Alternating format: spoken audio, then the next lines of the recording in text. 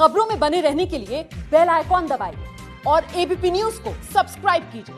तो स्वागत है आपका इलेक्शन मतलब एबीपी न्यूज़ लगातार 15 राज्यों की 113 सीटों पर मतदान चल रहा है और पल पल का अपडेट हम आप तक पहुँचा रहे हैं। दोपहर के एक बजे तक कितने प्रतिशत वोटिंग हुई है, कितना प्रतिशत वोट अपेयर हुआ है, वो आपके सामने है। बिहार में सैंतीस फ़ीसदी, गुजरात में उनतालीस फ़ीसदी, उत्तर प्रदेश में तीस फ़ीसदी, महाराष्ट्र में बत्तीस फ़ीसदी, पश्चिम बंगाल में बावन फ़ीसदी, छत्तीसगढ़ में तिरालीस फ़ीसदी मतदान दोपहर के एक बजे तक हो चुका है। तो अब तक की वोटिंग आंकड़ा हम आपके इस टीवी स्क्रीन पर इस समय आपको दिखा रहे हैं, बिहार में सैंतीस फ़ीसदी और गुजरात में उनतालीस फ़ीसदी मतदान हुआ है, उत्तर प्रदेश में तीस फ़ीसदी, महाराष्ट्र में बत्तीस फ़ीसदी। गोवा की बात करें तो छियालीस फ़ीसदी दोपहर के एक बजे तक मतदान हुआ है, केरल में चालीस फ़ीसदी, असम में सैंतालीस फ़ीसदी, त्रिपुरा में 45 फ़ीसदी, कर्नाटक में 37 फ़ीसदी, जम्मू एंड कश्मीर में 10 फ़ीसदी ही मतदान हुआ है। जम्मू कश्मीर में काफ़ी